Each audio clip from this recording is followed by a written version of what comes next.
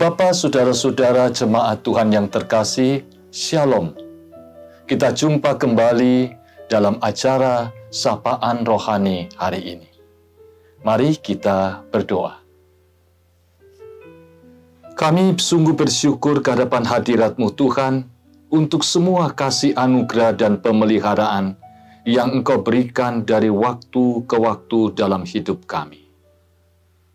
Kiranya Engkau dapat menyapa kami pada hari ini melalui firman-Mu, sehingga firman-Mu yang akan menguatkan, meneguhkan, mengingatkan, menegur, bahkan membentuk kami menjadi berarti di mata Tuhan siapkan hati kami, kudus dan layakkan kami. Dalam nama Kristus kami mohon. Amin. Bapak, Ibu, Saudara-saudara yang terkasih, tema sapaan rohani hari ini adalah pemisahan. Yesus membawa pemisahan. Firman Tuhan akan dibacakan dari Matius pasal 10 ayat 34 sampai 42. Tetapi pada hari ini saya akan membacakan dari Matius 10 ayat 34 dan 35 saja. Jangan kamu menyangka bahwa aku datang untuk membawa damai di atas bumi. Aku datang bukan untuk membawa damai, melainkan pedang. Sebab aku datang untuk memisahkan orang dari ayahnya, anak perempuan dari ibunya, menantu perempuan dari ibu mertuanya, dan musuh orang ialah orang-orang seisi rumahnya. Ada orang yang bertanya, bukankah Yesus Raja Damai? Kenapa Tuhan Yesus mengatakan bahwa dia datang bukan membawa damai, tetapi membawa pedang? Saudara-saudara, konteks firman Tuhan dari Matius 10 ayat 34 sampai 42 adalah konteks mengikut Yesus dan konsekuensinya.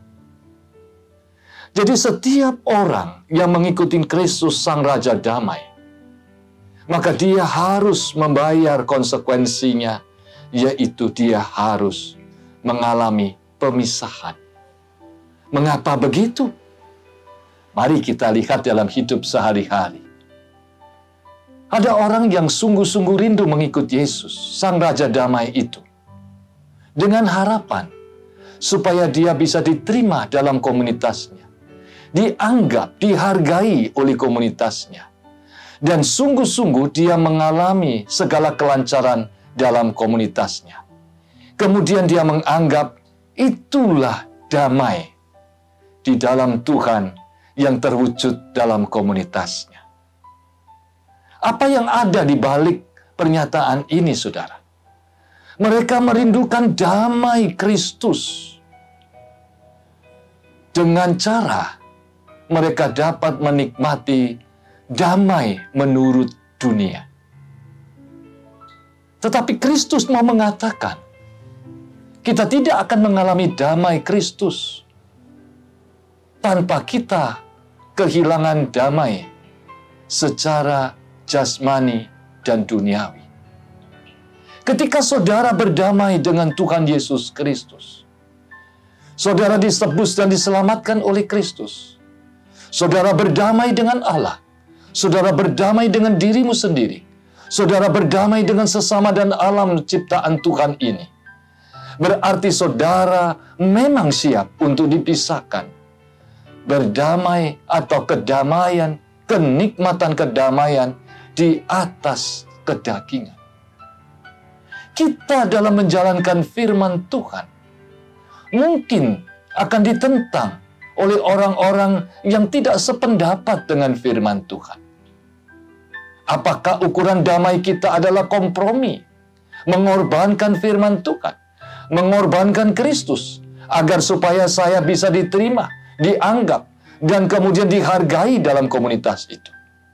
Ataukah saya akan menunjukkan dalam komunitas itu kehidupan Kristus, perbuatan Kristus, dan ajaran Kristus? Itulah pemisahan. saudara dan saya yang mengikuti Kristus, kita akan mengalami damai Kristus yang sempurna. Tetapi sekaligus kita punya konsekuensi. Harus dipisahkan. Berdamai dengan kenikmatan, kenyamanan, kedagingan ini. Berdamai dengan Kristus, kita siap harus kehilangan komunitas kita yang tidak sesuai dengan ajaran Kristus ketika mereka tidak bisa menerima pendapat kita, ketika kita dihina, ketika kita diolok-olok, ketika kita disepelekan, bahkan ketika kita dilecehkan, serta ketika kita tidak dianggap oleh mereka. Itulah pemisahan. Saudara-saudaraku yang terkasih, hal yang kedua, yang lebih sulit dari itu dikatakan begini dalam ayat 37.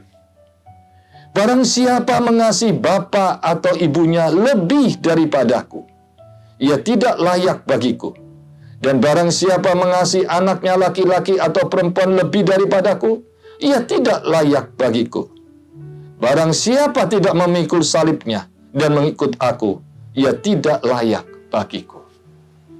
Saudara-saudaraku yang terkasih, ada sementara orang yang berpendapat menafsirkan ayat Alkitab ini mengatakan bahwa kita seolah-olah tidak lagi mengasihi, menghormati ayah, ibu, dan keluarga pendapat itu salah. Karena Alkitab mengajarkan hormatilah ayahmu dan ibu.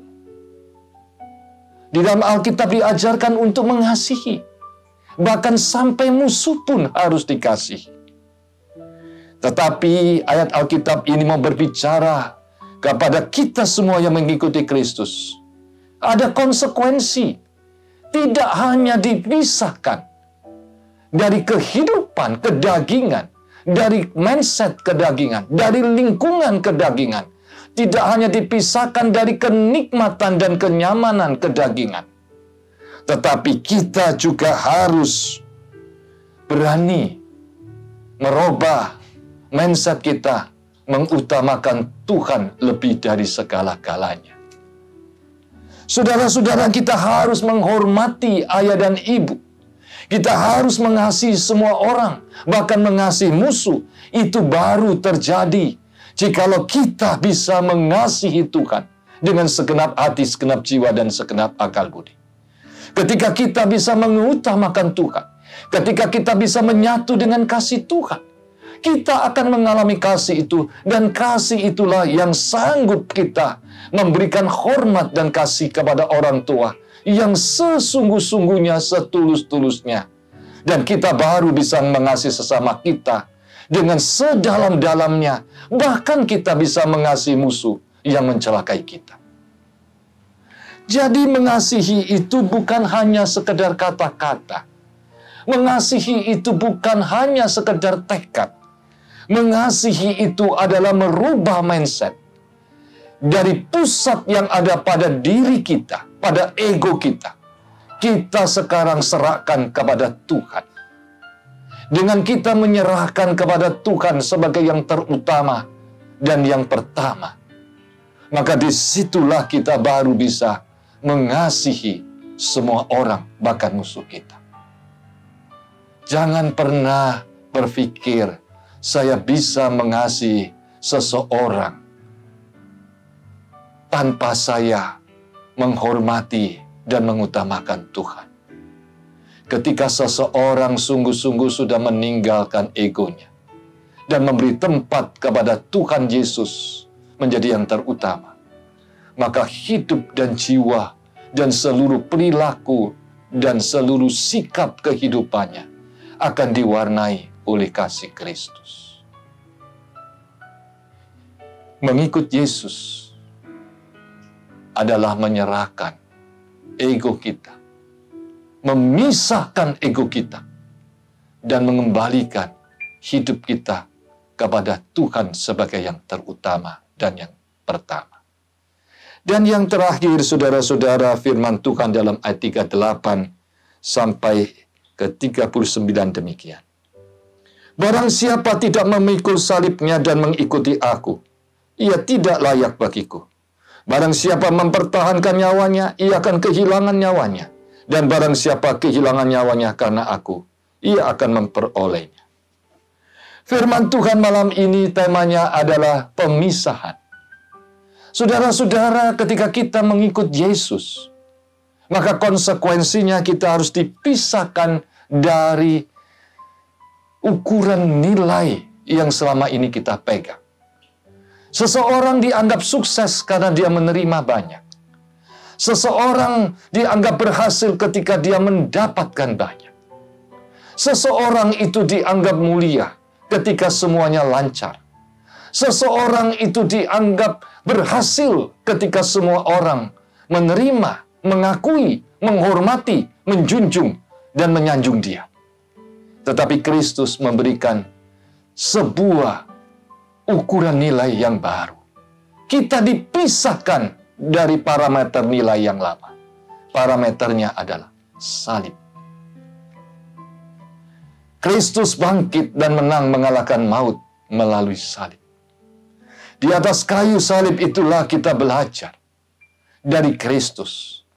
Sebuah kerendah hati, mengosongkan diri, ketaatan setia kepada Allah Sang Pencipta dan bahkan di atas kayu salib itulah dia mengorbankan apa pun yang paling berharga. Sehingga manusia hidup dalam kelimpahan.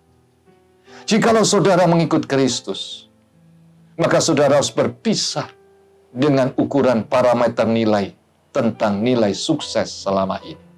Parameter tentang sukses. Parameter yang baru adalah salib.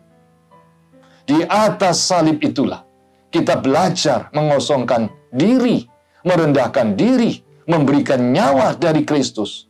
Agar ketika dia menyerahkan nyawanya, hidup manusia berkelimpahan. Saudara-saudaraku yang terkasih, kiranya pada hari ini kita belajar mengikut Yesus adalah sebuah pemisahan. Kiranya kita boleh merenungkan ini dan kita sungguh-sungguh membayar harga untuk dipisahkan agar benar-benar kita mengalami damai sejahtera Allah yang sesungguhnya dari Tuhan Yesus Kristus. Kita bisa belajar mengasihi sesungguhnya seperti Kristus mengasihi kita semua.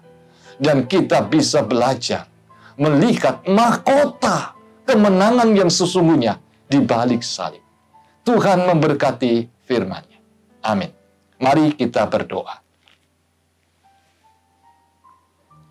Terima kasih Tuhan untuk firman-Mu. Kiranya Engkau pada hari ini mengajarkan kami untuk bagaimana menjalankan konsekuensi mengikut Yesus. Kami rela, kami ikhlas, kami siap untuk mengalami pemisahan. Dan kiranya roh kudus yang memeteraikan firman-Mu dalam hidup kami, sehingga kami sungguh-sungguh diberkati Tuhan untuk menjadi berkat. Dalam nama Kristus kami mohon. Amin.